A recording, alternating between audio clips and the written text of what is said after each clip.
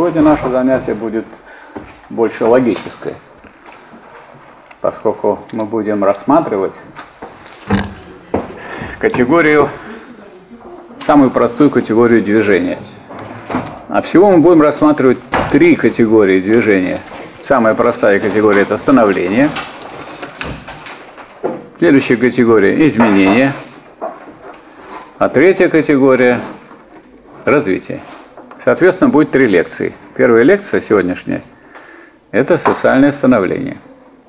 Потом будет у нас лекция «Социальные изменения», и потом будет лекция «Социальное развитие». Вот такие категории вы должны знать, потому что они являются какими? Всеобщими. Где применяется категория становления? Везде нет такой сферы жизни и деятельности человека, в том числе в его сознании, везде применяется такая категория становления. Есть категория изменения, которая другая. Это отдельный вопрос и отдельно будет лекция. А есть категория развития, самая богатая из тех, которые мы рассматриваем, и самая сложная – и мы будем, ну, сложное не для понимания, а сложное по смыслу, что там сложное из простых. Сложное – это сложенное из простых. А начинать надо с чего? Со сложного или с простого? С простого, правда? Почему? А дальше двигаться уже к тому, что получается. Значит, как разобраться? Сначала будем разбираться с остановлением. Тот, кто хочет взять первоисточник, может взять науку логики Гегеля – и смотреть с самого начала. Пропустить можно всякое предисловие, а начать с чего? Вот если вы что-то начинаете, да? Сначала будем начинать или с чего? Или не сначала? Сначала, да? А что такое начало? Что такое начало? Неразвитый, неразвитый результат. Вот, неразвитый результат. То есть нельзя определить начало через что-то, кроме как через то, что будет в результате, правильно? А результат – это что? Развитое начало. Да, или развернутое начало, или развитое начало. Развернутое начало, говорит Гегель. То есть это вот, так сказать, парная категория. Не может быть так, что вы начинаете что-то писать, там, дипломную работу в начале. Это что такое? В начале дипломная работа, она что, в чем выражается там? В том, что вы заглавие написали. Начало. Это целое. Движение идет от целого к целому или от части к целому. Вот вы развиваетесь, вы от себя к себе или от ноги к руке? Себя к себе. Ну вот, от целого, целого целого. То есть как бы оно кажется тождественным такое движение. Хотя, в принципе, если вы будете изучать том второй науки логики Гегеля, то там вы узнаете, что тождество всегда есть тождество различного. А если я буду вам читать лекцию и говорить, елка это елка, запишите, пожалуйста, это будет тождество тождественного, правильно? Или бревно есть бревно. Сильно вы продвинетесь в изучении. То есть вы, всякое словоупотребление, всякое движение мысли – это тождество различного. Никогда не бывает тождества тождественного. А различие что такое? Вот мы с вами разные люди, правильно? Различные люди. Так мы люди? И мы как люди тождественны или нет? Сказать, вы студенты, мы студенты, вы преподаватели. Но мы люди с вами или нет? Если мы с вами не люди, то у нас тогда и нет почвы для э, взаимодействия и взаимоотношений. Но мы разные люди, но люди. То есть поэтому разное и различное всегда различие тождественного. А тождество всегда тождество различного. Начинаем сначала. А что, какое начало является самым простым. Вот мы сегодня начнем с самого простого начала, которое есть в философии и в диалектической логике. Если мы с чего-то начинаем, то оно есть, то, то, то с чего мы начинаем. Правильно? Но если его нет, то мы и не начинаем. Тут деваться некуда. Мы начинаем с того, что есть. А что такое есть? Вот существует категория, которая специально выражает тот то обстоятельство или тот факт, что что-то есть. Вот эта категория называется бытие. Это для вас не новое слово. Вот вы бытие, бытие. Вы бытие, да? Все в порядке? Еще живые пока? Ничего я еще такого не сказал, что вы умерли. Значит, вот кто здесь присутствует, а стол тоже бытие, он же есть. Потолок есть, жизнь есть, солнце есть. То есть про все можно сказать. Но первое, что можно сказать про то, что мы изучаем, что оно есть. Если мы же приступили к изучению, а изучаем мы то, что есть, а не то, чего нет. Поэтому к чему бы вы ни приступили, в самом начале мы про это можем сказать только то, что оно есть. А что мы можем, кроме этого, сказать в начале? А ничего. То есть, это какое бытие? Еще бытие без всякой определенности. Мы еще не сказали, что есть, как есть, где есть, в чем есть, для чего есть. Да? Есть и все. Самое простое бытие. Кстати, определение материи состоит как раз в том, что материя – это то, что есть, и все то единое, что есть. Вот определение материи. Но здесь, скажем, в диалектике у Гегеля не акцентируется внимание на том, что это материя, а, так сказать, просто вот есть и все. Так вот, такое есть, про которое мы можем, такое бытие, про которое мы можем сказать только то, что оно есть, как называется? Как бы его назвать? Так вот, такое бытие, про которое можно сказать только то, или пока мы можем еще только сказать, не то, что мы вообще не можем сказать, но сразу все же не скажешь, называется чистым бытием. Поэтому началом логики вообще и началом познания является чистое бытие. Чистое бытие.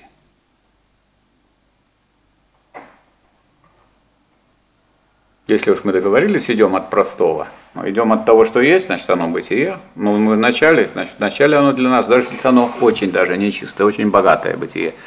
Но мы же не успели еще его раскрыть, еще не успели познать, не, успели опосредствовать, не успели ни с чем сравнить, ничему противопоставить и так далее. Поэтому оно не просто бытие, а чистое бытие. Чистое бытие. Вот самая первая категория, самая простая. Если кто-нибудь будет спрашивать, что вы изучали сегодня на лекции по философии, мы изучали чистое бытие. Солидно звучит. А и что вы изучили? Да вот мы изучали, изучали и пришли к тому, что оно есть. Ну, сильное у вас это изучение. А еще к чему? А все? Ну, все, что про него можно сказать, если это чистое бытие, что оно есть и все. Ну а если мы категорию тем самым определили, уже изучили, уже изучили, все поняли, что такое чистое бытие. Что тут понимать? Есть и все. Красота. Ну, кто ждал чего-нибудь легкого и простого, вот он наконец добился. Сейчас вы уже, значит, у вас второй семестр, наконец-то хоть начали что-то дали простое, которое раз сразу и все у вас. Причем вы изучили полностью это чистое бытие, правильно? Все там, все. Что о нем еще можно сказать? Ничего. А если о нем больше нечего сказать, то вы обратили внимание, что вот я если вас буду допрашивать, я спрашивать, а что вы можете сказать? Еще кроме того, что оно есть. А сказать, а больше я не могу сказать про него ничего. И не то, что вот вы не можете сказать, что вы слабы, так сказать, умом, а потому что о нем, как о таковом, ни я не могу, никто другой не может, а просто о нем нечего сказать, кроме того, что оно есть. Так оно и определено. Ничего. И мы пришли к другой мысли, к другой категории, которая называется категорией ничто.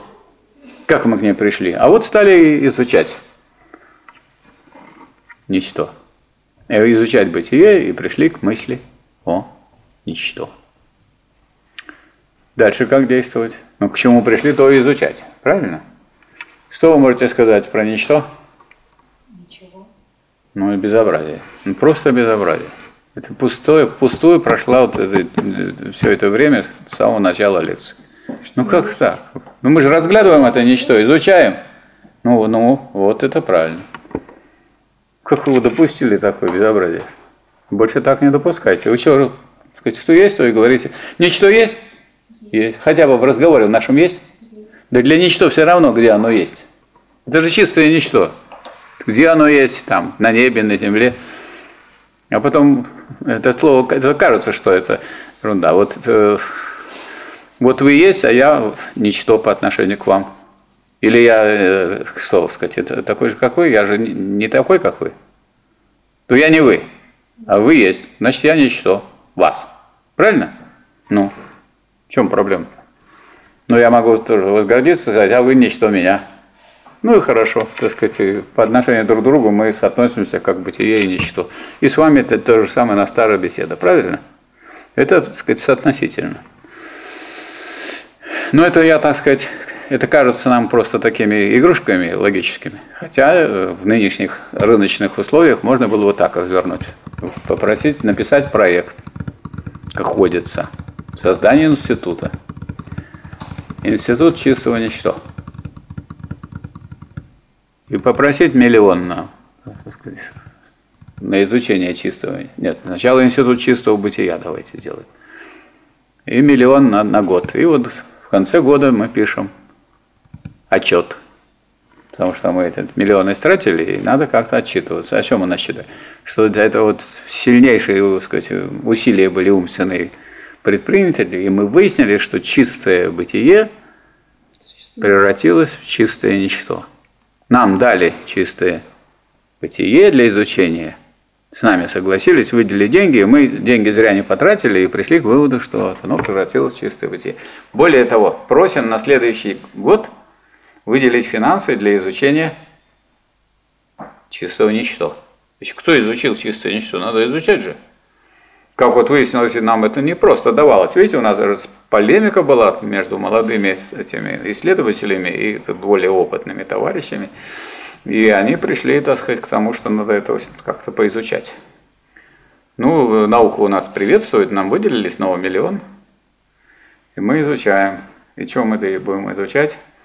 Значит, чистое ничто мы изучаем, и выяснилось, что оно превратилось в бытие. Но оно превратилось в бытие, но это уже не чистое бытие. Почему? Потому что чистое бытие было в начале.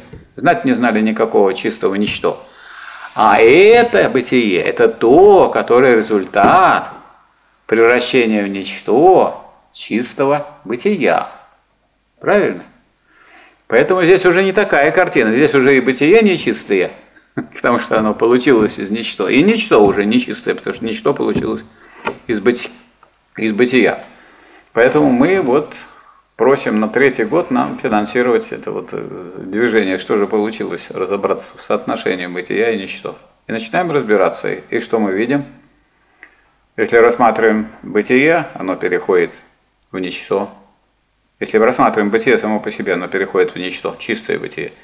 Рассматриваем ничто, оно переходит в бытие. И что, какой вывод? И какой вывод вы делаете научный из этого? Цикл. Год дается вам и миллион. Нет, надо два миллиона. Такое сложное, уже тут две стороны. За миллион, я думаю, мы не справимся. Какой вывод в отчете напишем? Не напишем, нас посадят, потому что вы деньги истратили, ничего не сделали. Так что думайте. Я сошлюсь на вас, что меня вот эти молодые, здоровые, так сказать, сбили с толку. И вот. А вы скажете, что он опытный, так сказать, у него титул, и что он профессор, и он нас с панталыку сбил, и вот мы не виноваты. Так, так надо выкарабкиваться. Что, что вы будете говорить? Что мы получили-то в результате исследования? Бытие. Ну, все вы топчетесь на одном месте. За бытие вы уже деньги получили, миллион, а теперь еще слопали 2 миллиона. Вот за это нас надо посадить бытие. Что мы получили в результате исследования вот этого? Вот, мы получили, что бытие переходит в ничто, а ничто переходит в бытие. Это видели, нет? Так вывод надо сделать. Какой вывод из этого? Что нету бытия, нет ничто, а есть лишь движение исчезновения, бытия в ничто, ничто в бытии. Поняли? Вот она, вот она наука-то.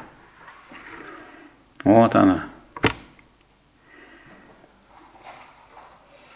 Было бытие, но перешло в ничто, чистое бытие. Потом ничто чистое перешло в бытие. Уже теперь они оба нечистые, потому что они уже результатом стали, а не началом. Значит, есть один переход и второй переход, и постоянный взаимопереход. Вы такое где-нибудь видели когда-нибудь? Нет.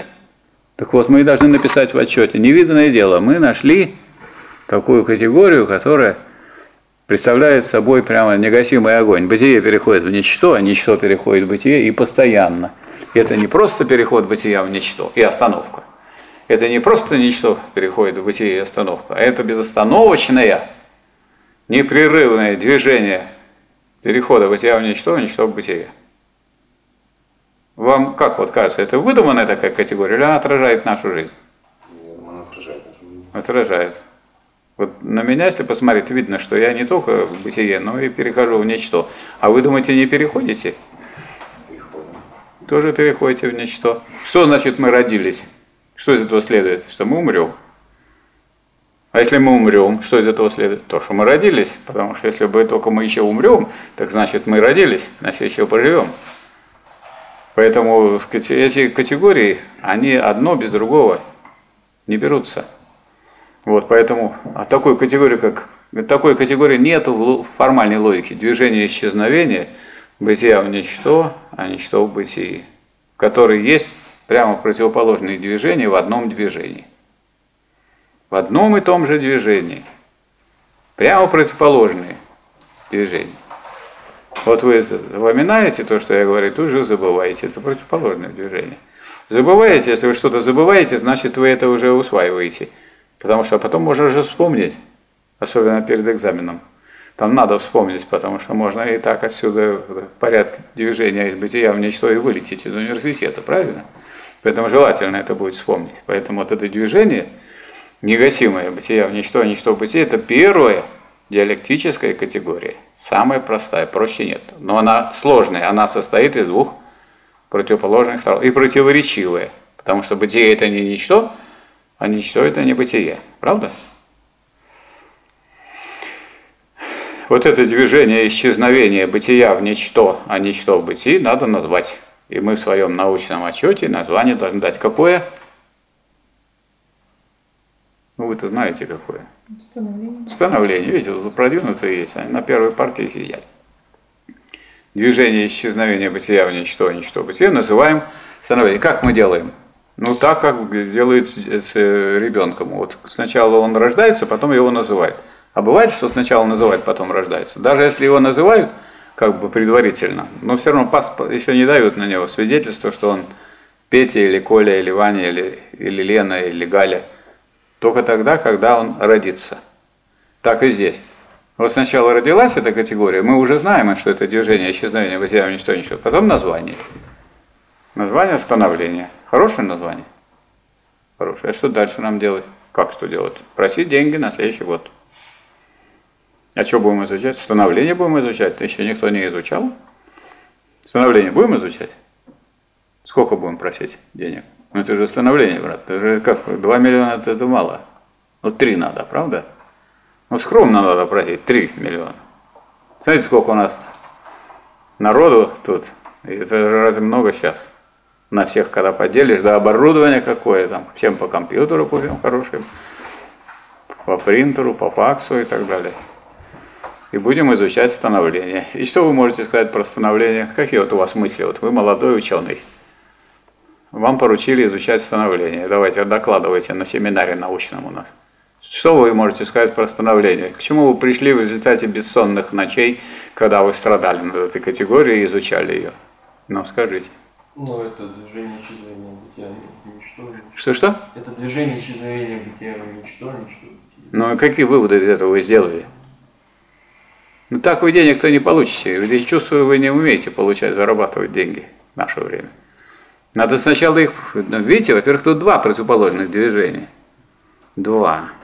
Одно дело переход бытия в ничто, Ну, а другое дело переход в ничто в бытие. Надо их назвать. Как вы назовете? Но мы должны назвать с вами. И вы, вот, вот мы сидим, нам надо отчитываться, а вы, значит, так это несерьезно к этому относитесь. Переход бытия в ничто, как вы назовете? Не, ну, мы можем заглянуть в философскую литературу, нам никто не запрещает. И что мы узнаем, заглянув в науку логики, что переход бытия в ничто, движение исчезновения бытия в ничто называется прихождение. Прихождение. Все приходящее. Вот столы эти, за которыми мы сидим, ну, наверное, вы понимаете, что они не вечные, да? Я-то точно вот могу сказать, что этих столов тут не было. те столы, которые здесь были, они пришли. Более того, вот аудитория, в которой мы находимся, была аудитория экономического факультета. Вот это вот деканат, это была кафедра политэкономии, крупнейшая в СССР, и на этой кафедре я был аспирантом. Изучал кандидатскую диссертацию по политэкономии. А вот весь тот край туда пошел, к, туда, к Сергею Ивановичу, это весь тот край была философия, а вот здесь была вся эта экономия, политэкономия. И это все пришло. Было и не, и не стало. А в другой момент не было и стало. Так, переход ничто в бытие. Это как называется, кто скажет? Уходящее. А? Уходящее. Хоже, но уходящее не было и стало это. Это же восходящее, а вы говорите уходящее. Ошибка с точностью да наоборот. Вот у нас молодой исследователь такой, такой светлый, и со светлыми волосами, и в светлой одежде, и мысли у него светлые, и у него все восходящее. Как вы называете вот это движение перехода ничто в бытие в становление? Скажите, пожалуйста, как вы предлагаете назвать? Ну, если вы скажете, как назвать, я вас назначу заведующим отделом соответствующим. А если вы не знаете, как назвать, то другие, другого человека назначу. Что-то вы так даже на меня и не смотрите. Наверное, вы задумались глубоко. То есть вы все вот так вот так смотрят, а вы глубоко думаете, что такое переход ничто в бытие в становление. Надо же назвать это, что это не просто так. Это ничто, где-то не валяется же на дороге, это в становлении, ничто переходит в бытие. А как-нибудь это называется в языке? Разве вы с такими не сталкивались, чтобы не было и стало? Как это называется? Если не было и стало, что это такое? Появление. Появление очень сложная категория. Это том второй, учение о сущности а это, это возникновение. Ну да, то, то что вы слово сказали, заведующим отделом я назначу. Будете заведующим отделом возникновения, а вы заведующий, заведующий отделом прихождения. Чувствуете разницу? Вы там взаимодействуете, потому что это, два противоположных движения в одном, ну, вы в одном институте. Так, значит, если раньше мы говорили, что становление есть беспокойное единство бытия и ничто, Правильно? Беспокойное единство, а не спокойное. Не то, что они вот в единстве и спят. Нет, одно в другое переходит. Раньше мы говорили, что становление – это беспокойное единство, бытия и ничто. А сейчас? А сейчас мы говорим, что это спокойное единство. Да? Или еще не говорим? Пока не говорим. Вот это беспокойное единство бытия и ничто состоит в том, что бытие переходит в ничто, а ничто переходит в бытие. А вот переход бытия в ничто – это прехождение, не перехождение, а прехождение, ну, прехождение. А с другой стороны, другое противоположное движение называется возникновение.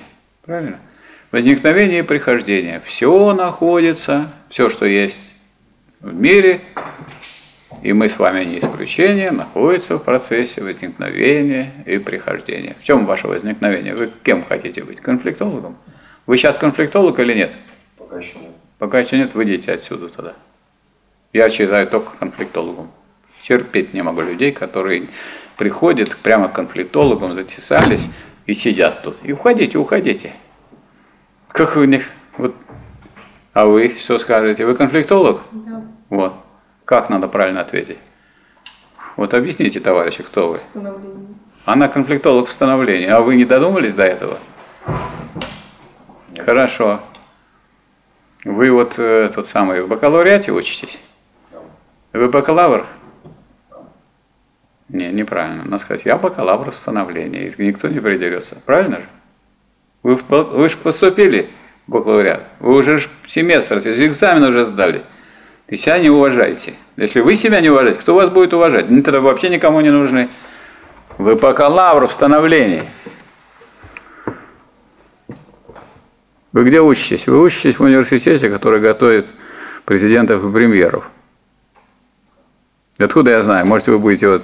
Она, наверное, будет президентом, потому что она сразу это словила, а вы вот только на премьера тянете пока. Больше пока не тянете. Ну, в становлении, конечно. Так. Но это же интересно, смотрите, как получилось. Вот. Это же очень важно. Спрашиваете философов, вы философ? Нет. Я говорю, что вы делаете на философском факультете? Ну, какие-то люди себя не уважают. А мы ее становление. Ну, а что, и слава Богу, что вы, что вы молодой человек. Вы человек или нет? Ну, только а то сказать, не, я молодой человек. Ну, если вы молодой, что вы не человек? Ну, человек.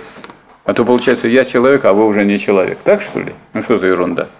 То есть мы должны с вами научиться правильно выражать движение мыслей. Правильно выражать, правильно, истинно. А истина, она не односторонняя. Истина всегда противоречива. Всегда есть какой-то переход. Разве бывает такое, что мы были бы только в состоянии бытия и никакого перехода бы не было бы? Не бывает. Поэтому возникновение и прихождение, если раньше мы говорили, что есть два противоположных движения, переход бытия в ничто и переход ничто в бытие, теперь мы можем сказать про становление, что становление есть единство возникновения и прихождения. Это продвижение или нет? Ну, значит, мы можем требовать 4 миллиона? Ну, вот тогда можем. А это вы не так и будете сидеть. Без, без денег, без еды. Надо красиво все ее оформить и подать.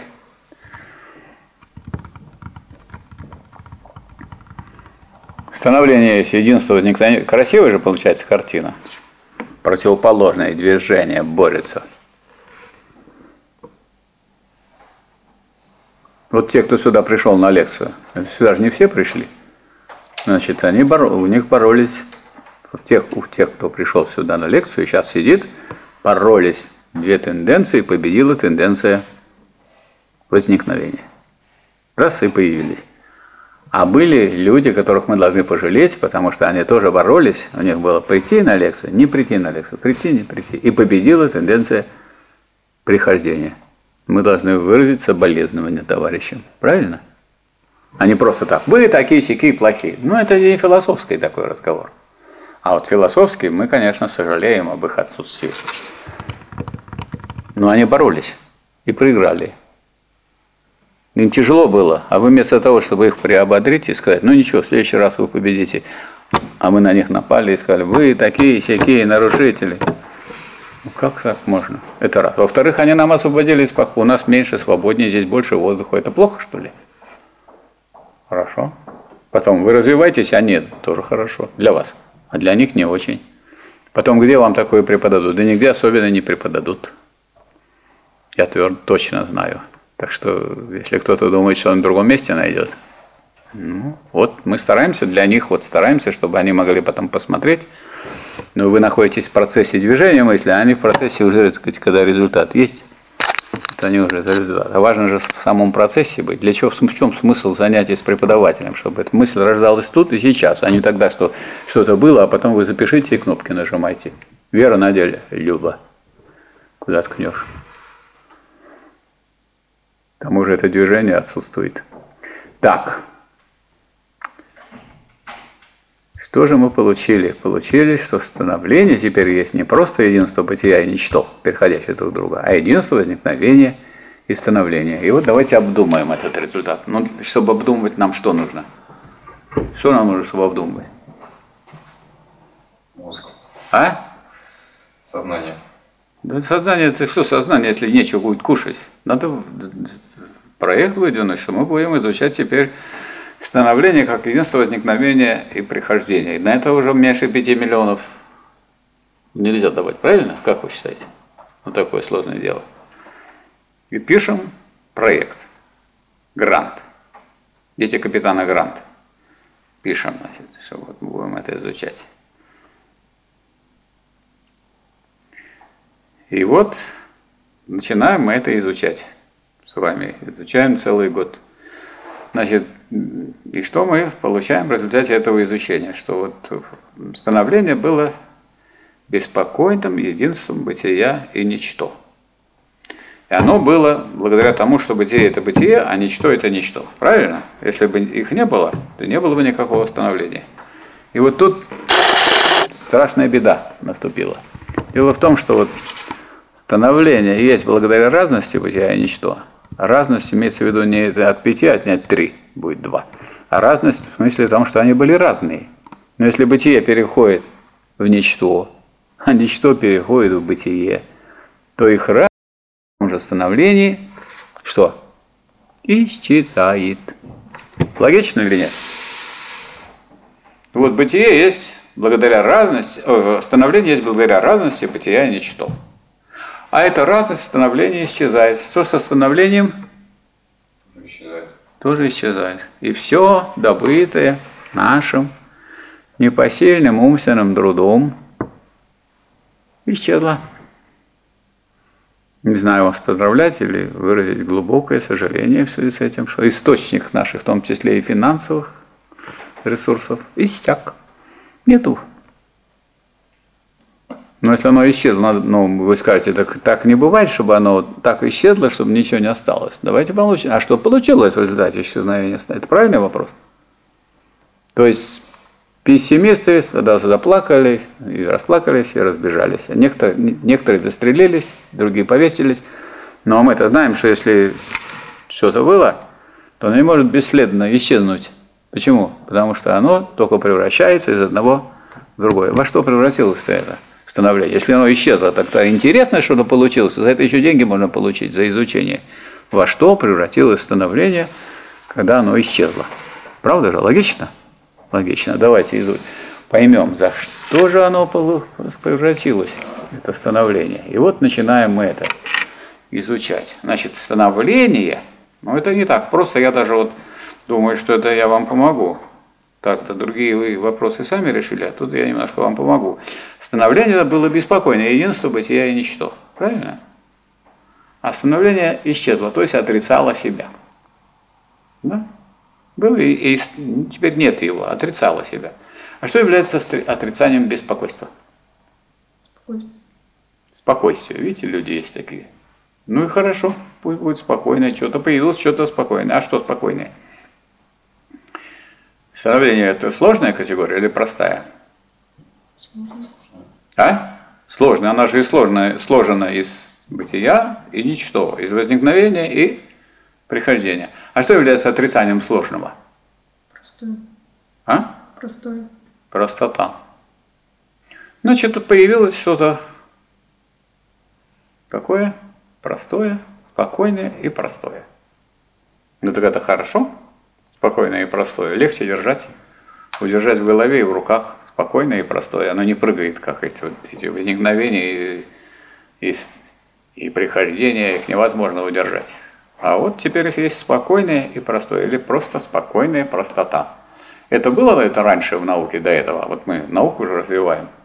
А у нас были какие категории? Чистое бытие, чистое ничто, переход бытия в ничто, переход ничто в бытие – соответственно, возникновение прихождение. А теперь у нас спокойная простота. Ну, раз, так она есть или нет? Ну, раз есть, она что про него можно сказать? Вы что можете сказать про то, что есть? Что она есть. Вот. Учитесь сдавать экзамены. Вот, допустим, приходите вы на экзамен. Я спрашиваю, что вы знаете об этом? Что надо сказать? Что оно есть или что его нет. Ну чего вы сразу все испортили? Зачем вы второй это добавили? Зачем? Если нет, так я вам двойку ставлю. А если есть, так я пятерку. Ну что вы вот, как человек сам берет и сам себя же бьет. Я спрашиваю, что вы знаете об этом? Что она есть. Ну как-то гордо надо. Вы как-то так отвечаете, что пять нельзя поставить. Спросите меня, что я знаю об этом. Меня спросите. Что вы знаете об этом? Я знаю, что оно есть. Но вы чувствуете разницу? Ну что вы тут? Студент, молодой человек, выступаете как дряхлый старик. Фу. Сразу видно, что вы не тянете на пятерку. А вот ну, так тоже с уважением сказать. Я знаю, что оно есть. Сколько я должен вам поставить? Зачет точно. Потому что на экзамен надо два вопроса, а на два вопроса уже тут не натягивает, а, вот, а зачет уже точно. Поэтому если вам нужно сдавать зачет, без вопросов. Мы же договаривались один вопрос. Правильно? Поэтому если я задам второй вопрос, сказать, Михаил Васильевич, ну так же нельзя, мы договаривались, один вопрос, ну зачет. Я ответил вам. Ну давайте вот, как мы договаривались, так ставьте зачет и все по рукам. А что я могу сделать? Все. Поэтому зачет уже, вот зная учение о бытии, уже спокойно можно сдавать любой. А уже подробности, это, ну, это не надо. Ну, не надо превращать вообще зачет в экзекуцию, там, в допрос. Это что, допрос? Второй вопрос, третий, а ваши, есть ли у вас родственники за границей, там, что вы делали до 17 года, где были и так далее. Ну что, зачем столько вопросов? Вы спросили, я вам ответил зачет и все. Вы же гражданин, вы же у вас гражданские права есть. Нам же, нам же не разрешают вот трогать э, руками не то, что бить там студентов, а вообще даже замахиваться нельзя. В Англии еще линейкой бьют. Ну, правда, школьников. Но мы уже, мы же свободная страна. Вот, вы же свободные граждане, поэтому это мало ли чего я могу вам сказать, но вы должны строго так сказать, требовать соблюдения всех норм, законов. Вот. Я вас спросил, что вы знаете о спокойном и простом. А вы вот должны с гордостью сказать, я знаю, что оно есть. А раз оно есть, то это что? Бытие. Вот, бытие. Ну, это хорошо. Ну, наверное, нечистое же. Уже нечистое. Но раз нечистое, дайте название другое. Ну, логично, да?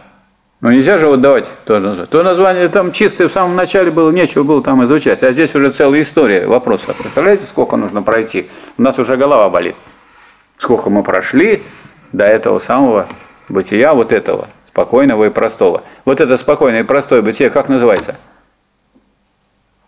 Вот это вот правильный ход такой. Вот вы так думаете, думаете, а потом заглядываете в науку логики и смотрите название там на личное бытие. Откуда берут названия? Берут названия из уже тех исследований, которые есть. Мы же не первые в науке, правильно?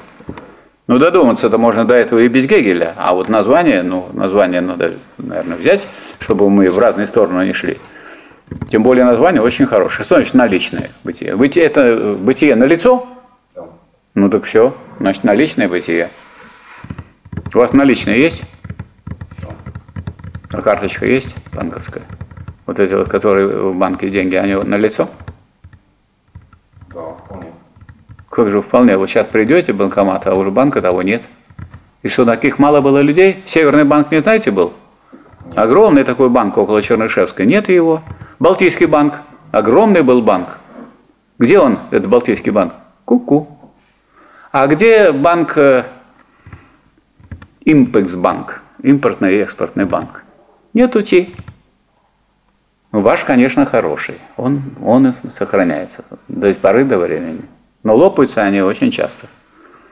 Лицензию отозвали, и все в порядке. У нас, э, там, где я живу, рядом на углу, сначала был гастроном, потом он превратился в ничто, потом там был банк, он тоже превратился в ничто. Вот, то есть он не на лицо. Это вы должны пойти в банкомат, и тогда вот когда наличные вы получите, а тогда у вас деньги на лицо. А так они, они где? У вас или у банка? Так у банка юридического лица это банков деньги. Они ваши деньги, что с ними делают? Вот они вот ей дают в кредит. Ей в кредит. И за это, за это, они получают, ваши деньги дают ей, а вы ничего не получаете, а получает банк. Это же здорово придумано, как хорошо.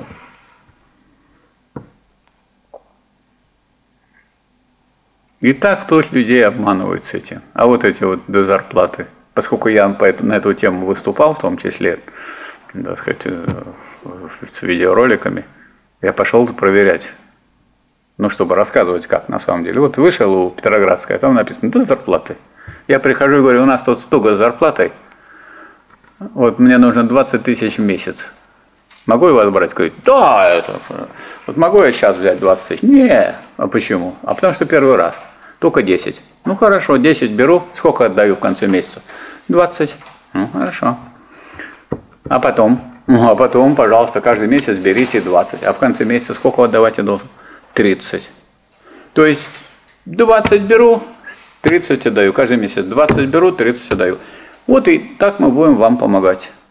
Я так на них посмотрел, говорю, так вы мне будете помогать?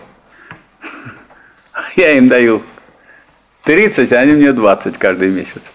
Я даю 30, а они 20. То есть я каждый месяц отдаю им 10 тысяч. И они говорят, мы вам будем помогать. И вот люди так и ходят. Или карты какие-нибудь дают, вот вам. Вам даю карту, платиновую. То есть на ней уже 70 тысяч. Кредит вам. Это что значит?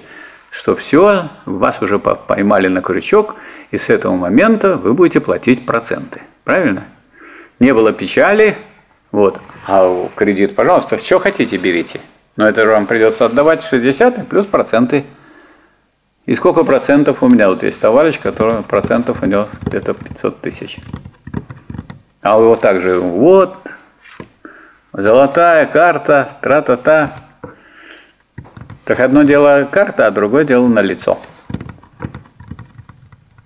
А сколько было случаев, когда вот эти бегут, и потом сейчас сделали агентство по страхованию вкладов, потому что эти вклады-то не на лицо, и часть можно получить безграничная сумма или ограниченная величиной. Если у вас там лежало больше, чем эта норма, во-первых, вы побегаете за то, чтобы получить, что сразу вам выдадут? Да нет.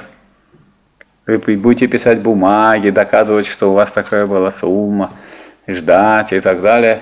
И получите только то, что вот максимальный уровень, который установлен. А если у вас больше в два или в три раза, и в четыре, и в десять, вы получите только то, что согласно установленному размеру. Так что как же вы путаете, на лицо или не на лицо? Вот у вас дома стул есть? Есть. Так он на лицо или нет? Лицо. Стул? Нет. Вот, вот на лицо это на нем садится. А же два стула уже унесли, может быть. Откуда вы знаете? Пришли воры, забрали стул. На лицо это то, что вот, вот сейчас вы видите его, вот это на лицо. Какое же это на лицо? Деканат у нас сейчас на лицо. Вы уверены, что там он есть кто-нибудь? Нет. Вот вы на лицо, я на лицо. Столы тут на лицо, стулья на лицо, потолок на лицо. Все это на лицо. Наличное это то, что вот здесь есть. Наличники на окнах это которые есть. Они такие, которых унесли. А пришли люди, сорвали эти наличники, их уже нет. Так вот, категория этого бытия называется, это бытие, которое мы для чего сейчас обсуждаем, как назвать. Вот это спокойное и простое бытие называется Наличное. наличное бытие. Ну, хорошее название, наличное бытие. Всё. Вот наличное бытие. Что надо дальше делать?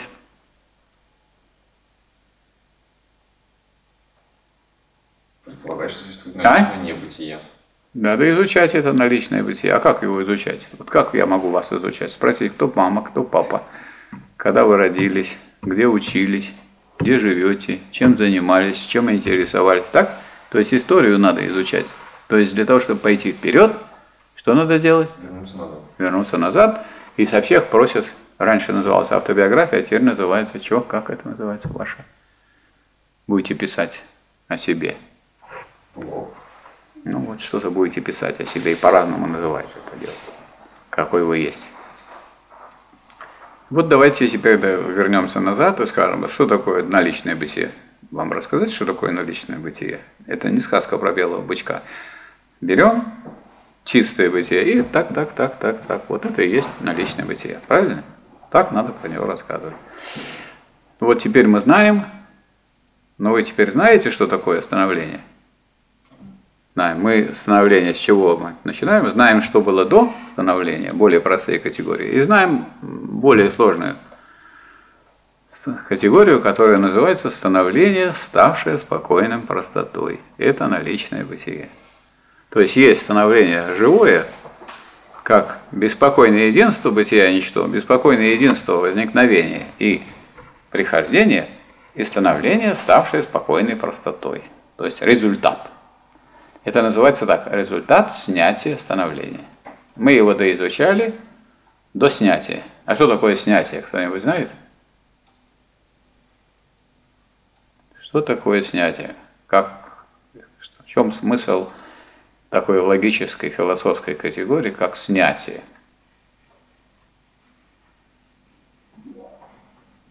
Вот снятие, это запомните, это, это самая главная такая категория движ, логического движения. Снятие – это диалектическое отрицание. Диалектическое отрицание состоит не в уничтожении, не в растаптывании, не в разбивании того, что вы прошли, а в отрицании. А что значит отрицать? Отрицать значит удержать в этом.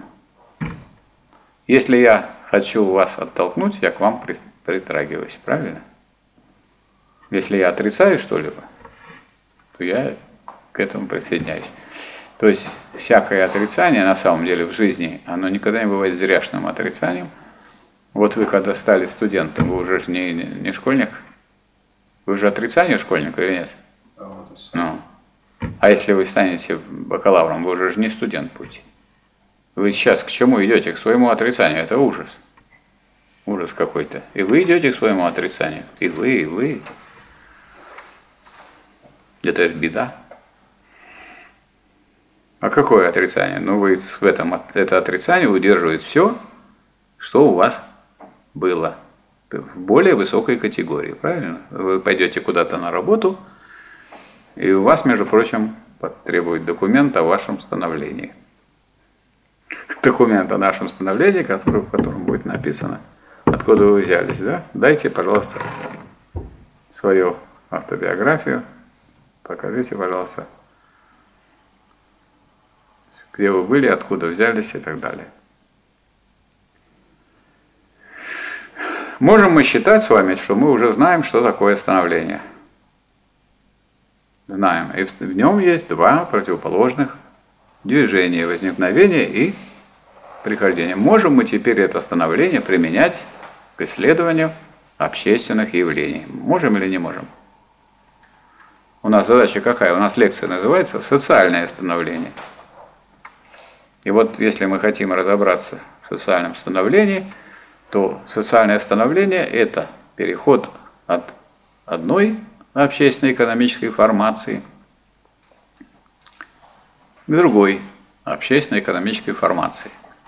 И поскольку мы отдельно будем еще изучать эти вопросы о формациях, сейчас, как говорится, наше понимание формации будет очень неглубоким. Как раз для того, чтобы понять становление. Что одно дело, какие мы знаем формации, даже если вы это не изучали, наверное, вы знаете – Сначала человечество жило при, при первобытно-общинном коммунизме лет 90 тысяч примерно. Так, и был там матриархат, муж, мужчины ходили, собирали коренья, мелких зверушек ловили. И что найдут, то принесут, а женщины распределяли, чтобы хватило на детей и на всех по потребности. А как по потребности? Ну, у кого какая потребность, тому больше. У кого больше там? Дети растут, там все, надо то, на то, на то, на то. Это был первобытный общинный коммунизм. Потом, что из него? Он же, потом он находился в прихождении, да? Все же приходящее, все приходящее. И коммунизм был, этот первобытный общинный был в прихождении. И в результате а, возникало другое общество, основанное не на общественной собственности, коммунизм, почему называется, что общая собственность на средства производства. Поэтому и коммунизм говорят. Коммунизм это что означает? Строй, основанный на общественной собственности на средства производства. И состоялся переход к другому. Уже могли по отдельности отдельные люди, которые наловили, поймали своих противников из другого племени, могли их обратить в рабов – превратить в работников и уже без общины самостоятельно развивать производство. И мы перешли к какому производству? Рабовладельческому. И это рабовладельческий способ производства и, соответственно, рабовладельческая формация, во время которой, благодаря развитию производительных сил, оно гораздо быстрее шло, чем в первобытно-общинном коммунизме – благодаря развитию производительных сил расцветали науки, да, техника развивалась. И появились даже такие средства производства, что они вошли в противоречие с таким использованием их с помощью рабов. Рабы не хотели совершенствовать или использовать такие средства производства, которые были прямым средством их дальнейшего закабаления в рабство. Правда? Они поднимали восстание, восстание подавляли, Но поскольку остановить движение развития средств производства невозможно, развитие производительных сил, а производительные силы это работники и средства производства, то в результате вот это красивые такие рабовладельческие государства огромные были разрушены, и возникли государства, построенные, и общества построены на чем? Не на арабском труде, а на труде крепостных. Вот если вы раньше были рабыни, а стали крепостной, это же радость. Почему радость? А потому что рабыню можно убить в любой момент. Ну, крепостных тоже убивали и не сильно наказывали вообще помещиков. Но это было нарушение закона. А что можно было? А вот можно было купить. Вот вас можно было бы купить, причем с семьей, без семьи, с землей, без земли, по отдельности или вместе. Продать можно было. Не надо вам это? Хорошую эту студентку. Раз и продали. И наоборот. Если я у вас крепостной, вы меня можете продать. Вам нужен там доктор философских наук? Это не, она дорого меня будет продавать. А вам не нужен доктор он будет вам рассказывать лекции дома, будет сказать, ну-ка расскажите мне про становление. Это же хорошо. Правда? А что, были учителя же были всякие такие, которых нанимали господам, к дворянам. Они приходили и, и деток учили, и их наставляли. Да? И они так вот при этом и существовали. И другие, музыканты, и танцоры, и поэты при дворе и при крупных феодалах. А феодалы занимались науками, искусствами, ну как занимались? Они приглашали людей, которые занимались. А трудом, а трудом крепостных крестьян все было обеспечено. Труд, чей труд создал блестящий Санкт-Петербург? Скажите, пожалуйста. Ну, кто построил все эти здания, которые нам так нравятся? Там Исаакиевский собор. Крепостные. А? Крепостные. Крепостные. Но иногда э, так говорят проще, что вот Смольный собор построил, расстреляли. Ага. Сакевский собор построил Монферран. Мне кажется, Монферрану вот особенно трудно было строить, поднимать вот одному вот эти вот колонны такие стоят. Правда? Это одному очень тяжело поднимать. Но он же построил Монферран. Ну, а как бы эти люди, которые строили крепостные, они же не в счет. Они же крепостные. Ну, уже архитекторы те в счет. Или там у нас построен прекрасный Таврический дворец. Екатерина подарила его Потемкину, Таврическому. И две улицы идут. Потемкинская и Таврическая. И Таврический дворец. И там 2000 человек в этом большом зале Таврического дворца. И так он такой компактный, там идешь мимо, не кажется грандиозным. Но один из крупнейших залов вообще, ну, был, по крайней мере, в Европе. Ну, сейчас, когда делали, когда сделали СКХ на, тысяч, на 150 тысяч человек, или когда сделали стадион на 66 тысяч человек, да еще с каждого, если пришедшего на футбол по 5 тысяч взять, то будет 330 миллионов за один вечер то, конечно, это уже другие масштабы. Совсем. Ну, Мариинский э, дворец, Мариинский э, театр, там тоже около двух тысяч. Тоже такое серьезное очень. А кто его построил? Я вот сейчас сразу и не скажу, кто знает. Вы знаете, нет, кто построил Мариинский театр? Это важно же, интересно же. Ну, архитектор какой. Ну уж этих, как говорится, а кто строители, кто-то никто и не вспоминает. Как бы их и нету. Вот мост у нас новый построили. Как называется? Новый через него вот туда, прямо на Крестовский остров. Как называется мост? Не знаете? Вы не, не, не здесь живете, нет? Не здешний? Ну мост новый, это же... А? Как какой? Новый мост, вот, вот здесь вот ряд. С Васильевского острова идет от Смоленки и туда прямо на Крестовский остров. Вантовый. Ну, так это и недавно было. Ну, так я спрашиваю, новый. Ну, относительно. Ну, как называется этот вот недавно, который был, как называется? Не знаете. А? И вы не знаете. Никто не знает. То есть про этот мост у вас в голове ничто. Бетанкур он называется. А кто такой Бетанкур? Бетанкур был такой государственный деятель, испанец по национальности, поэтому он Бетанкур, и дальше еще много, знаете, у испанцев, там раз, раз, раз, раз, и там этих всех имен бесконечно много. Ну, вот это все сократили, получился вот Бетанкур, он занимался строительством мостов, да, всякого рода сооружений, набережных и так далее. И вот в честь него так назвали этот мост Бетанкур. Последний мост, который построен на, на Неве. Это редкость же, это так часто бывает. Вот этот мост, который у нас здесь вот, биржевой называется, а то назывался в советское время мост строителей. Так сказать. Строителей вспомнили, но фамилии строителей не написали. Иногда пишут номера э, фамилии инженеров. Но чтобы рабочих писали, что-то я не видел такого. Как бы они в строителях не числятся. Они в ничто числятся. Что за феодализм был, какой строй? Потому что при феодализме работник был обязан известное число дней в неделю работать на барщине. Бесплатно. Он работает, а ему деньги не платят. Сейчас такие явления есть? Сколько угодно. Они работают, им не платят, а они сидят и как будто крепостные крестьяне продолжают работать. Это ужас.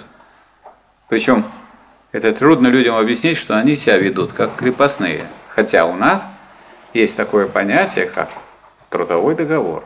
Вот если вы пришли на предприятие и приступили к работе, никаких бумажек нет. Я вот представитель работодателя, генеральный директор, а вы стали работать.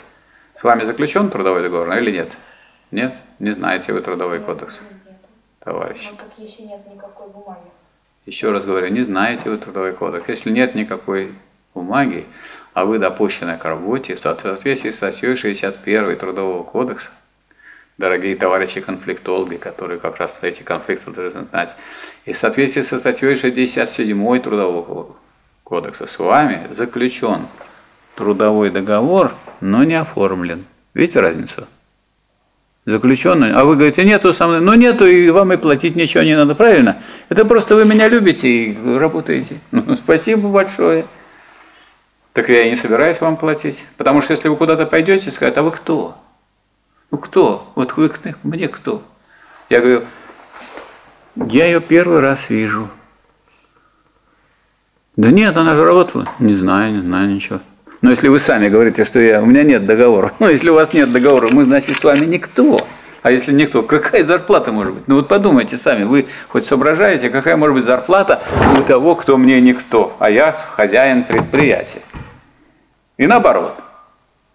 То есть есть, потому что это какой может быть договор? По рукам, который еще и раньше был у купцов.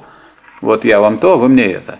И по рукам, и, и вы выполняете, я выполняю. Вы не выполняете, я тогда тоже не выполняю. Вот, допустим, вы пришли ко мне работать. Я вас допустил. Вы проработали полмесяца, а я ничего не заплатил вам. А вы, я на следующий день прихожу, вы сидите, книжку читаете «Капитал Маркса» или «Трудовой кодекс». Я говорю, а вы что делаете? Книгу читаю. А почему не работаете? А вы почему не платите? Мы же с вами договорились. Я работаю, вы мне платите. Вы мне не платите, я не работаю. Это же договор двух лиц. А бумаги нет. Так а я о бумаге вас не прошу, вы деньги отдайте. Причем тут бумага? Деньги давайте. А что тогда вы пришли ко мне спрашивать, почему я не работаю? С какой стати я буду работать, если вы не платите? Вы разорвали этот труд... договор. Договор, вот он был фактически. А вы его не выполняете, вы уже нарушили. А раз вы его нарушены, я могу обращаться куда? В прокуратуру, в суд, в Рострудинспекцию. И его привлекать по каким статьям? Во-первых, он нарушил Трудовой кодекс. Во-вторых, он же за вас должен платить в пенсионный фонд, так сказать, фонд медицинского страхования. Значит, он что сделал? Он эти денежки, которые принадлежат государству, присвоил. Тюрьму его. А вы его любите, уважаете, а на себя наговариваете. Я, нет у нас трудового договора. Значит, в 67 статье написано, надо, он обязан в трехдневный срок по вашему заявлению оформить. Но вы заявление не подаете, вам как бы деньги не надо, оформление не надо. А что вы хотите? Вам ничего не надо. Ну, вы просто любите меня и работаете. Ну, работайте. Вот если бы я ваш помещик был. Ну, вы меня уважаете. Давайте, я вам же даю э, там свободно три дня в неделю работать у себя на участке. Участок – это моя земля. Но я вам даю. И в лес можете зайти грибы собирать, ягоды. Корову можете пасти. Ну, три дня-то отработаете на барщине. Не хотите работать на барщине? Продам вот ему. Вам не нужна молодая, так сказать, крестьянка? Не нужна? Ну, ему продам, ему нужна.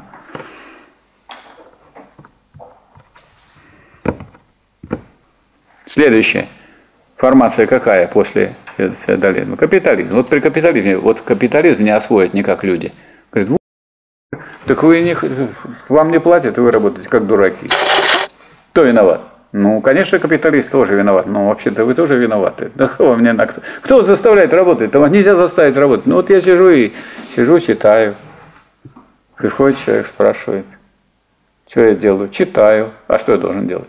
А вы должны работать. А вы должны платить. Вы же не заплатили. Я и не работаю. У нас какой был договор? Вы работаете, я плачу. Вы не работаете, я не плачу. Я не плачу, вы не работаете. Логично? Логично. Ну, логика же нужна во всем. Вот сейчас ну, у нас основная масса трудящихся, рабочих, оно как, как крепостные. То есть, я понимаю, реакция может быть, но не такой же степени, что зайти. Вы что, до, так до рабовладения можно дойти, как с гастарбайтерами поступает, их там и бывает. И сжигают прямо иногда. Пожар каком-нибудь сарае, в котором жили гастарбайтеры, и все сгорают.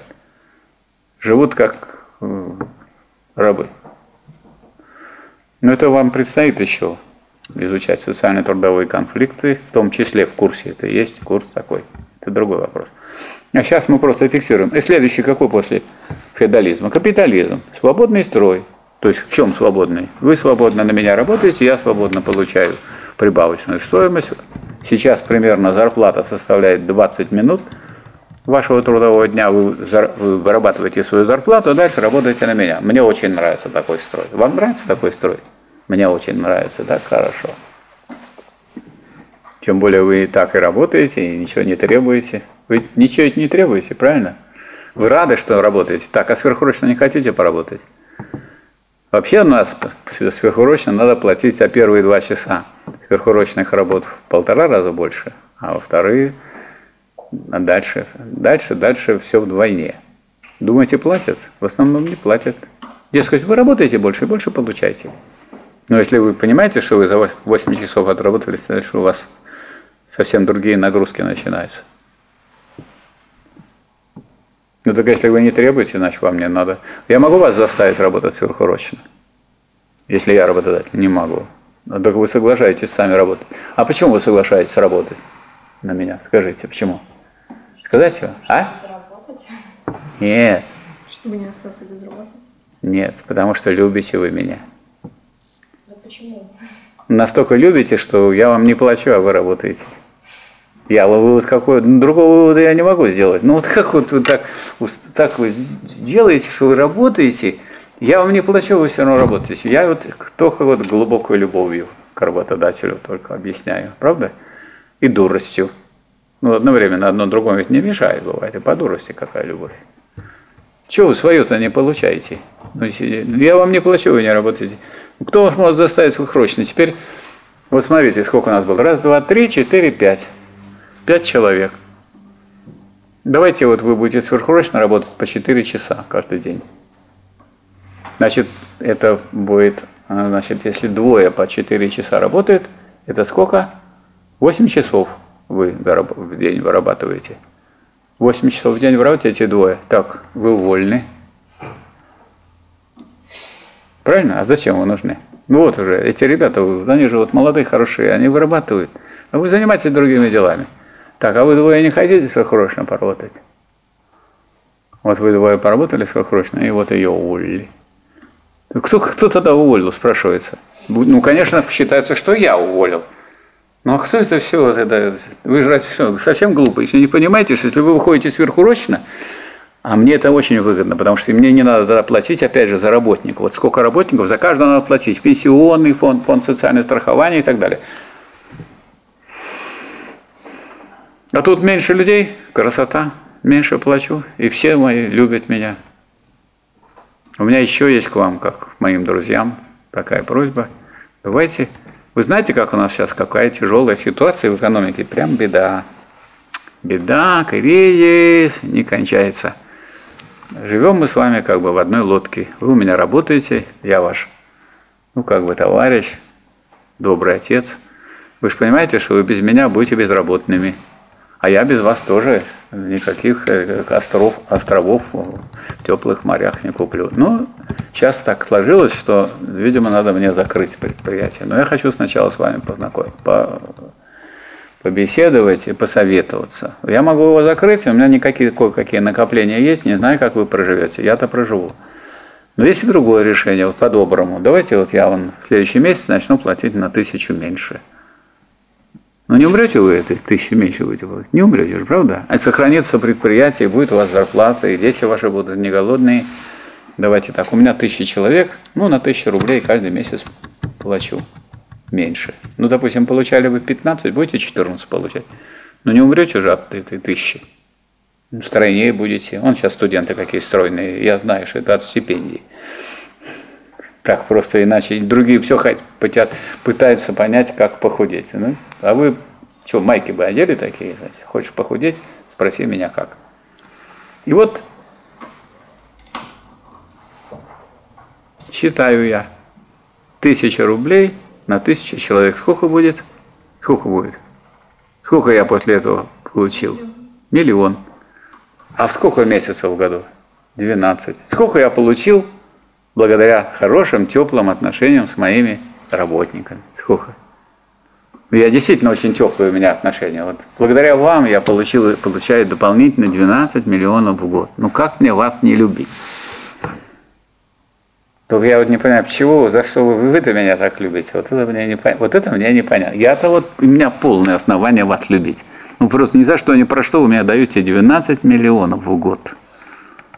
И когда я уезжаю на яхте, там плыву по теплым морям, в очередной свой дворец, я вас тепло очень вспоминаю, вас вспоминаю, вас, и вот ваш светлый образ, и ваш, и вот тот товарищ, хоть он и в черном, а образ все равно светлый.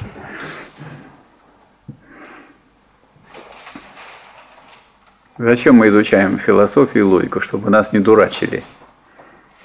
И чтобы мы так сказать, сделали так, чтобы и других было трудно дурачить, потому что вы, вы становитесь образованными людьми. Правильно? Следующий строй какой после капитализма? Это идет второе отрицание. Первое отрицание было какое? Был первобытно-общинный коммунизм, строй, основанный на общественной собственности. Произошло отрицание – рабовладение, феодализм, капитализм. Это частно-собственнические способы производства и, соответственно, частно-собственнические формации. И, наконец, второе отрицание. Возвращение к общественной собственности на основе уже того развития, которое произошло в производительных силах, на основе тех возможностей, которые дает современная техника, современное образование и так далее. Другой уже человек, свободный от при капитализме он же свободный от как, какой-то феодальной зависимости. Правда, ведет себя как крепостной, но это уже другой вопрос. Это он уже по своему желанию ведет так. Он любит просто тех, кто его эксплуатирует. Вот такая картина. И, при, наверное, вы понимаете, что если имеется сколько способов производства всего, ну как по крупным, если считать, всего три. И три формации больших. Это первобытно-общинный коммунизм, частно-собственническая формация, состоящая из рабовладения, феодализма капитализма, и уже коммунизм как отрицание частно-собственнической формации. И возвращение к коммунизму как отрицание отрицания. Отрицание отрицания – это равенство с собой, как отрицание своего отрицания. Чувствуете, какой уровень? Равенство с собой, как отрицание своего отрицания – то есть все эти частно-собственнические формации в коммунизме есть. В каком виде? В снятом. То есть в нем. Ну как он же из них развился? Маркс писал, например, про социализм, что это вот коммунизм, но в первой фазе. С родимыми пятнами капитализма. Вот как вот, ну, скажем, коммунисты должны относиться к капитализму? Ну как вот вы к маме относитесь? Вы ее отрицание или нет? Или вы ее утверждение? Ну, вы ее отрицание. Ну, так к маме надо же хорошо относиться. Ну, если вот коммунизм вышел из капитализма, кто мама коммунизма? Капитализм. Ну, как вот вы так к капитализму плохо относитесь? То есть это вовсе не значит, что с мамой нельзя спорить, там, и так, но надо понимать, что, откуда вы вышли. Поэтому и производительные силы, и образование, и наука, и прочее, и другое, и все прочее. Поэтому ну это если это более высокий строй, он должен быть более высоким, как отрицание предыдущего строя. Но он в себе имеет эти родимые пятна, их тоже надо видеть. Вот что вы так плохо отвечали? Это вот родимые пятна капитализма. А и до чего довели эти родимые пятна, что у нас опять капитализм. У нас произошла контрреволюция. А как называется переход от одной формации к другой? А? Становление. Вот это вот становление, это переходный период от одной формации к другой. А когда начинается этот переход? По-разному. Потому что если вы возьмете вот переход от феодализма к капитализму, то вы увидите, что этот переходный период как бы идет подспудно. В экономике развивается капитализм, разлагается феодализм, появляются богатые крестьяне, которые становятся кулаками, которые начинают использовать наемный труд других крестьян. Разлагается полностью деревня на три класса. Класс буржуазии, то есть кулаков. Класс середняков, то есть мелкой буржуазии. И класс полупролетариев, бедняков. Это рабочие, сельскохозяйственные. Спрашивается, а когда мы говорим о вот этих средних крестьянах, это кто такие? Вот это мелкие буржуа. Кто знает, что такое мелкий буржуа? Знаете, нет? Это не маленький буржуй. Маленький буржуй – это буржуй, то есть маленький капиталист. А вот мелкий буржуа, это можете записать и запомнить себе это навсегда, определение. Это такой собственник средств производства, который работает сам, своим трудом. У него есть средства производства, но он не кого-то нанимает, он сам трудится и выносит свои продукты как товары на рынок. И поскольку он выносит на рынок, там он попадает уже в какую ситуацию, а там перекупщики. Поэтому он, возможно, думал, что он разбогатеет и станет капиталистом, и мечтает каждый мелкий буржуа стать настоящим хозяйчиком, из мелкого сделаться крупным. А судьба его какова? А вот судьба его такова, что основная масса их падает на дно в ряды пролетариата. Почему? Ну, потому что крупный капитал конкурирует. Так, вы лук выращиваете? Давайте ваш лук, я его продам. Вот вам сейчас живые деньги, а вы же вас все равно не знаете, как продавать, где места какие. Надо вести. У вас техника есть, машины есть, грузовые нету. Давайте ваш лук по сколько? Давайте по, это, по 10 рублей. А продам я по 60. Молоко сейчас скупают у тех, кто производит там по 15 рублей, а продают по 50. В пакеты. И говорят, молочный завод. Что завод? Не коровы это молоко дают, а заводы. А что они делают? Могу рассказать, что делают заводы. Заводы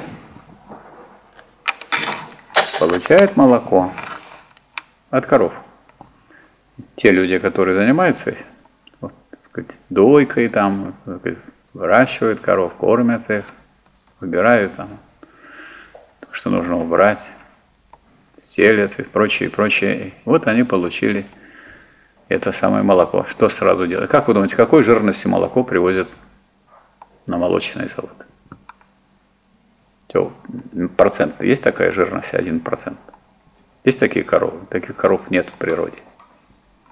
А так бы они ходили, и на них вместо вот этих разводов, знаете, так один процент написано ходит так. А, а есть два с половиной процента коровы ходят, два с половиной процента. Потом есть три-два. На самом деле где-то вот до 7% бывает жирности, там 4, 6, 7 и так далее. Что делают с этим молоком? На сепаратор. Сепарат это что? Сепарация. Что это? Разделить. Жир туда, не жир сюда. То есть отделяет и получает однопроцентное молочко. Это я точно все знаю. У меня был, я был деканом факультета профессионального профпереподготовки Академии гуманитарного образования. И у меня был товарищ Алексей, э, товарищ Михаил Алексеевич Александров, который был директором Сосновского молочного завода. Мне рассказывал, значит, идет все это на сепаратор. Однопроцентное молоко получается. Это то, от которого... Раньше это называлось обрат в советское время. Обратно везут в село и поют телят. Обратно. Этим обратом. А сейчас этим поют девушек говорят, вам нужно, чтобы были стройными, пить вот это вот молоко, которое раньше пили телята. То есть оно уже освобождено от того очень ценного, что есть в молоке, а обойдетесь. Пейте, пейте, пейте молоко 1%. Потом начинают доливать это молоко, в это молоко сливки. Значит, и добивается того, что есть молоко ду- 2,5%, такого нет у коров. Ну, точно вымеряют 2,5%. А есть молоко 3,2. Это тоже вымеряют. А есть молоко, если вы пойдете сейчас в магазин и посмотрите, там есть отборное молоко. И там ну, нет этого, потому что вот там это молоко, которое натуральное, цельное называется. Не путайте натуральное и цельное. Это все натуральное, только вот это цельное, а это все переработанное. Вот это цельное молоко от, э, от 3 до, до 4 с лишним процентов. Отборное называется. Отборное, цельное, с которым ничего еще не делали, не, не кидали его на сепаратор. Ну, это вот делает уже производство. А вот бедный этот мелкий буржуа, он оказывается не удел. У него все забирает, ему сколько-то денег дают, и эти деньги, которые он получает, меньше, чем стоимость того продукта, который у него берут. Поэтому мелкий буржуа не только сам не буржуа, он еще эксплуатируемый теми, кто берет его продукт и сказать, делает свой на этом бизнес. А есть буржуа, но это другое дело. Это люди, которые получают прибавочную стоимость. Нанимают людей, вот таких особенно, которые считают, что у них нет договора. Ну, раз нет договора, ну, ну, если у нас нет договора, неужели я буду вам платить зарплату? Вот подумай, посмотрите на меня. Неужели я буду платить зарплату тому, у кого со мной нет договора? Ну, никогда ни за что. Да застрели меня. Если скажут, Михайлович, вы что не, не платите? Я говорю, а кто такая она? Как кто? Она с работы. Ну, когда любит меня. Ну, если любит, то пусть и работает, я, я не против. Еще нет таких, которые меня любят. Не хотите у меня поработать? Мне такие нужны люди. Да думаете, мало таких людей? Да хоть, ну просто это ужас какой-то. Тьма. Значит, вот это уже дальше пошел капитализм. Значит, при переходе от одной формации к другой, кроме революции, когда она совершается, или когда уже переход практически завершен, как вот при феодализме превратился в капитализм в России, только осталась надстройка. И в 17 году быстренько совершили буржуазную революцию, и стал полностью у нас буржуазный строй. То есть переходный период как бы был в рамках феодализма уже проходил. Уже в XIX веке в России был капитализм в экономике, и уже мощный. И мы были на пятом месте в мире. И был даже монополистический капитализм в начале 20 века. А вот если это переход к коммунизму, так это от частной собственности, это же не от одной формы собственности частной к другой частной собственности, а переход от частной собственности к общественной, ну тут совсем другое дело. Это довольно длительный переходный период. В этот переходный период нужно было ну, некоторые, так сказать, не очень понимают, как это вот перейти от частной к общественной. Думают, вот сразу национализировали. А что, если вы сразу национализируете, что вы национализируете, будете делать? С тем, что вы сразу национализируете. И все и пропадет. Поэтому первое, что было сделано, это рабочий контроль. Ну, чтобы не пропали станки, машины, оборудование. Очень, совсем не надо все разрушать. Важные части открутить и бросить в Неву. И все и нету никаких заводов. То есть они как бы есть, но уже это не, не заводы. То есть нужен рабочий контроль. А что значит рабочий контроль? Вы пришли контролировать мою работу. Что вы можете делать? Ничего. Вот сидите и смотрите, как я читаю лекции. Все. А вот подсмотрели, теперь будете читать лекции, как я, то вспомните, как я читал, а то вы это все себе хотите присвоить. Вот сидите и смотрите, и больше ничего. И смотреть, сколько смотрели? С, с ноября 17 года по январь 18 года. В 18 году национализация. А что значит национализация? Смотрели, смотрели, потом сказали, Михайлович, ну спасибо. Значит, лекция ваша заканчивается. Значит, вот, хотите, будете у меня работать. Ну, не хотите, тогда до свидания. На биржу становитесь. Все. И национализация. Чтобы все национализировали. Таких дураков нет национализировали основные средства производства. И поэтому капиталистический сектор, уклад, остался. То есть теперь есть капиталистический уклад, есть национализированные предприятия и есть мелкотоварный уклад, мелкобуржуазный, он остается. А есть еще патриархальный. Вы копаете Значит, сажаете картошечку, выращиваете и съедаете, огурчики и помидорчики. Не, на- не на рынок надо никуда. Ну, иногда вы за подсолнечным маслом сходите, а так все, и соль. Больше вам ничего не нужно. И хлеб сами испечете. Патриархальный уклад. То есть пе- переходный период, много укладов. А вот из этого государственного уклада вырастает два. Один называется госкапитализм. Это значит, что из этого государственного уклада часть уже предприятий направили в общественных интересах действовать. Это общественная собственность пошла. Она маленькая пока. Она назвать-то можно все государственным, а толку-то? А действует она еще не в общественных интересах. А вот какая-то часть уже это коммунистический уклад. Коммунизм это общий.